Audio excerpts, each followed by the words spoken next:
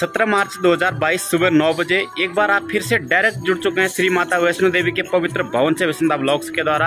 आज की इस वीडियो के माध्यम से मैं आपको नए ताजे नज़ारे, ताजे दर्शन, ताजी अपडेट, आज के मौसम के नए ताजे हालात, कितनी भीड़ है माता रानी के भवन पर, इसकी कंप्लीट जानकारी इस वीडियो के माध्यम से देने वाला हूँ।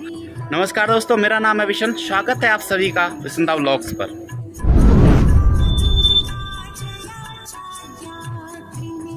तो दोस्तों मैं एक बार फिर से आपको मिलाने वाला हूँ अपने दोस्तों से। उत्तर प्रदेश से आए हैं माता रानी के दर्शनों के लिए। जय माता दी। जय माता दी। कौन कौन लोग पहली बार दर्शन करने आए हैं? अच्छा। अच्छा तो आप आप इससे पहले भी दर्शन करके आ तीन साल पहले आया दूसरी बार कैसा लगा माता रानी के भवन पर? बहुत बढ़िया बहुत बढ़िया लगा। चलो। जय करा शेरा वाली बोल साचे दरबार की जय। चलिए सुबह के नौ बज रहे हैं और हम तो फिर से तैयार होके चल दिए हैं माता रानी के दर्शनों के लिए। अमरनाथ सर मेरे साथ। अमरनाथ सर कैसा लग रहा है माता रानी के भवन में बहुत बढ़िया लग रहा। हम तो रोज सोचते हैं कि माता रानी के दर्शन हो कोशिश भी करते हैं आने की। यहाँ पर हैं जब से तब से कर भी रहे लगभग दर्शन ही। और कुछ लोग तो जलते भी है बोला डेली डेली दर्शन करने जा रहे हो आप लोग जला रहे हो। अब आपको सीधे लिए चलते हैं माता रानी के भवन पर तीन नंबर गेट के पास। में उससे पहले दोस्तों ये सार्वजनिक सूचना ज़रूर पढ़ लीजिएगा वीडियो को पॉज करके, क्योंकि ये जो लोग भी आप ऑनलाइन बुकिंग करते हैं, उसके बारे में पूरी जानकारी इसमें दी गई है। आप लोग इसको एक बार ज़रूर पढ़ लीजिएगा। माँ वैष्णो देवी जी की पवित्र गुफा में जाते समय शॉर्ट्स या फिर नेकर पहने हुए यात्रियों को दर्शन करने की अनुमति नहीं दी जाती है। अगर आप माँ वैष्णो देवी जी की यात्रा शॉर्ट्स पहनकर कर रहे हैं तो अपने साथ में एक्स्ट्रा क्लॉथ्स ज़रूर रखिएगा, ताकि आप माता रानी के भवन पर आकर आराम से दर्शन कर सकें। आजकल माता रानी के भवन पर स्नान घाट में काफ़ी ज़्यादा श्रद्धालुओं की भीड़ देखने को मिल रही है। बहुत सारे श्रद्धालु माता वैष्णो देवी जी की यात्रा पर आकर दर्शन करने से पहले स्नान ज़रूर कर रहे हैं। तो दोस्तों, एक बार फिर से आप श्री माता वैष्णो देवी जी के पवित्र भवन के नए ताजे नज़ारे के दर्शन कर लीजिए। अब समय है आपको सीधे माता रानी के प्राकृतिक पिंडियों के दर्शन कराने का।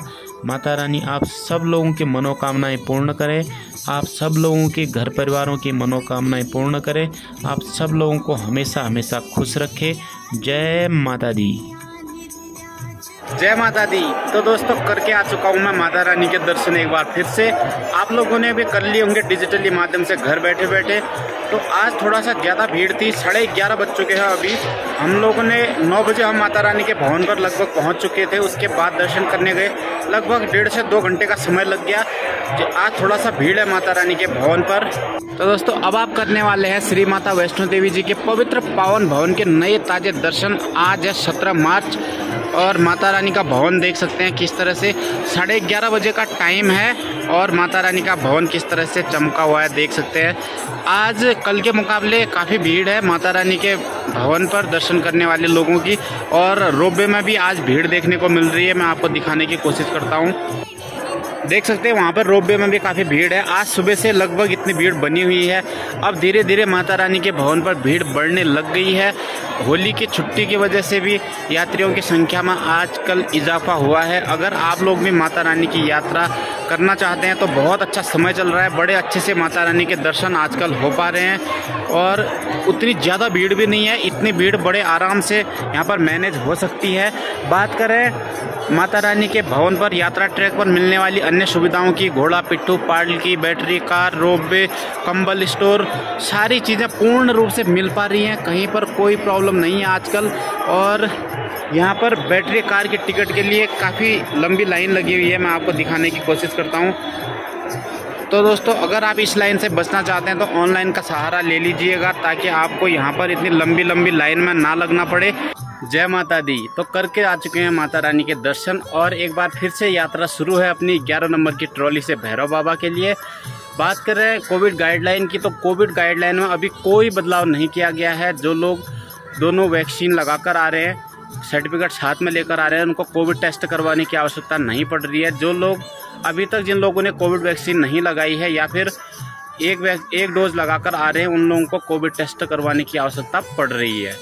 अगर आप अपने स्टेट से कोविड टेस्ट की रिपोर्ट लेकर आते हैं तो आप लेकर आ सकते हैं, बहत्तर घंटे तक की वैलिडिटी के साथ में होनी चाहिए। आर रिपोर्ट मान्य है और कुछ लोग कमेंट कर रहे थे, सर, माता रानी के भवन पर कोविड टेस्ट कहाँ पर चेक होता है? तो कोविड टेस्ट की रिपोर्ट जो है, बाणगंगा दर्शनी गेट में चेक हो सकती है। हालाँकि आजकल में चेक नहीं हो रही है, लेकिन किसी भी टाइम रेंडमली भी चेक हो सकती है। आप लोग अपनी रिपोर्ट या फिर वैक्सीनेशन सर्टिफिकेट साथ में लेकर ज़रूर आएँ। मौसम की बात करें तो काफ़ी धूप है आजकल, बहुत ज़्यादा अगर दिन में आपकी यात्रा दिन दिन की हो रही है तो आपको ज़्यादा गर्म कपड़े लेकर आने की आवश्यकता नहीं है। वैसे रात में भी बहुत ज़्यादा अब आवश्यकता नहीं पड़ रही है गर्म कपड़ों की, क्योंकि चलने में तो वैसे ही गर्मी लगती है और काफ़ी तेज़ धूप आजकल त्रिकुटा पर्वत पर आप लोगों को देखने को मिल रही है। और भैरव बाबा के लिए रास्ते में देखिए, कोई भी आदमी आपको नहीं मिलेगा। एक का, दुक्का लोग या आजकल सीढ़ियों से यात्रा करते हैं, क्योंकि बहुत ज़्यादा भीड़ नहीं हो रही है उतनी ज़्यादा भी, लेकिन अभी भी अगर आप रोपवे के लिए लाइन में लगते हैं तो लगभग पौना घंटा तो लग ही जा रहा है, एक घंटे के आसपास। तो ज़्यादा भीड़ नहीं है अभी, इसी वजह से सारे लोग भैरव बाबा की यात्रा भी रोपवे से करते हैं। आप लोगों से बात करते करते अब हम सीधे पहुँच चुके हैं भैरव बाबा के खूबसूरत व्यू पॉइंट पर। अभी देख सकते हैं किस तरह का नज़ारा खूबसूरत भैरव बाबा के व्यू पॉइंट पर बना हुआ है कि इतनी दूर पीर पंजाल के पहाड़ियों पर बर्फ़ अभी भी बनी हुई है और श्रद्धालु किस तरह से फ़ोटो सेल्फी लेकर यहाँ पर आनंद ले रहे हैं दर्शन करने के बाद। और यहाँ पर देखा होगा आपने, बहुत ज़्यादा भीड़ नहीं लगी हुई है व्यू पॉइंट में, क्योंकि काफ़ी तेज़ धूप लग रही है। साढ़े ग्यारह, बारह बजे का टाइम है। बहुत तेज़ धूप लग रही है आजकल। इसीलिए ज़्यादातर श्रद्धालु छाया में बैठे हुए हैं, जिन लोगों को फ़ोटो क्लिक करनी है, केवल वही लोग व्यू पॉइंट पर हैं। एक बार फिर से दीदार कर लीजिए माता रानी के पवित्र भवन का। खूबसूरत व्यू पॉइंट से माता रानी का भवन किस तरह का दिखाई देता है? कमेंट सेक्शन में जय माता दी, अभी तक आपने ज़रूर लिख दिया होगा। अब आपको करवाते हैं सीधे भैरव बाबा जी के दर्शन, क्योंकि भैरव बाबा जी के दर्शन, विभूति के दर्शन के बाद ही आपकी ये यात्रा कंप्लीट होती है। अब आप कीजिए भैरव बाबा जी के दर्शन। तो दोस्तों, भैरव बाबा में भी काफ़ी भीड़ आज देखने को मिली, काफ़ी लंबी लाइन लगी हुई थी।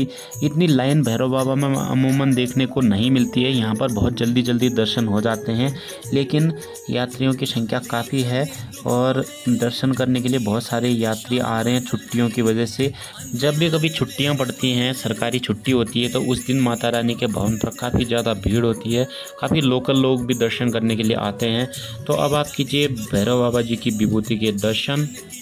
तो दोस्तों हमने कर लिए हैं भैरव बाबा जी के भी दर्शन। इसी के साथ ही हमारी यात्रा कंप्लीट हो चुकी है। तो सर कैसे हुए दर्शन? बहुत बढ़िया से दर्शन हुए। सर आप लोगों के दर्शन कैसे हुए? बढ़िया बढ़िया। बढ़िया हुए ना माता रानी के दर्शन। भीड़ है ना आज थोड़ा सा? और दिनों से। हाँ जी। तो दोस्तों बहुत ज़्यादा भीड़ है आज की यात्रा यहीं पर संपन्न होती है। मिलेंगे फिर एक और नई ताजी अपडेट वीडियो के साथ। तब तक के लिए जय हिंद जय भारत जय माता दी।